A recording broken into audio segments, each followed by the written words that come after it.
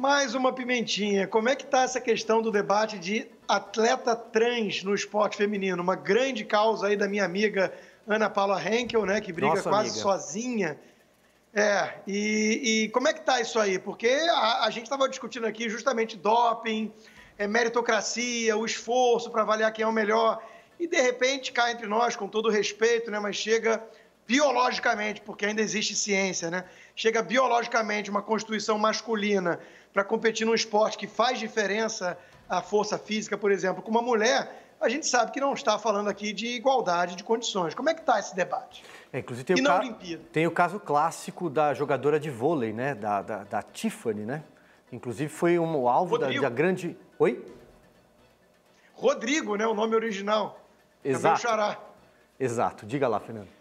Existe, nunca participou, né, nunca houve na história dos Jogos Olímpicos uma, um atleta trans participando dos Jogos, mas existe a possibilidade de em 2020 ter a primeira, é, que é um atleta de levantamento de peso, que era, é da Nova Zelândia, está ali brigando pela classificação e tem chance de, de participar. O que eu tenho a dizer é, sobre isso é que existe uma discussão, e acho que essa discussão é saudável e ela precisa ser é, é ela precisa existir, mas eu vejo o esporte como algo que tem que abraçar as pessoas. E hoje, no caso da Tiffany especificamente falando, ela está jogando no, no, vôlei feminino já há alguns anos aqui no Brasil, está fazendo o trabalho dela, não é melhor do que as outras por ela ter sido é, nascido homem, ela é, não é uma jogadora fora do normal por ter nascido homem, tanto que muitas vezes ela fica no banco de reservas do SESI Bauru.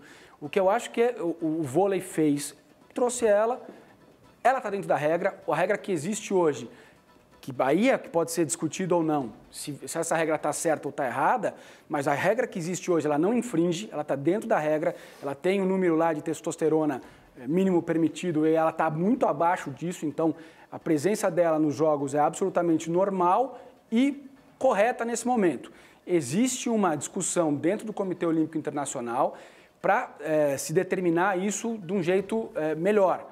Então, a ideia era que essa discussão fosse e terminasse antes dos Jogos Olímpicos de 2020. Não foi possível também por conta de pandemia e tal, mas existe uma análise e um pensamento e um trabalho sendo feito para determinar a melhor forma disso ser é, é, decidido.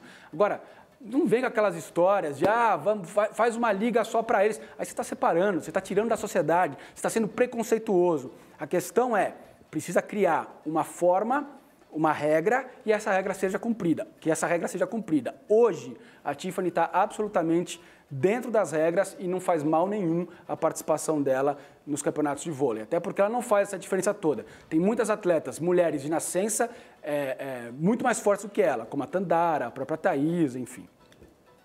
A Tandara, a, a Tandara, Nossa Senhora, é, quando ela vai bater na bola, aí Pelo parece de que está jogando vôlei né, masculino. Então, realmente, eu acho que não tinha que fazer essa dissociação, não. Você pode até bolar regras, sim, né, para que é, as atletas sejam aí... É, passem por algum tipo de exame, algum tipo de teste, mas elas têm que jogar.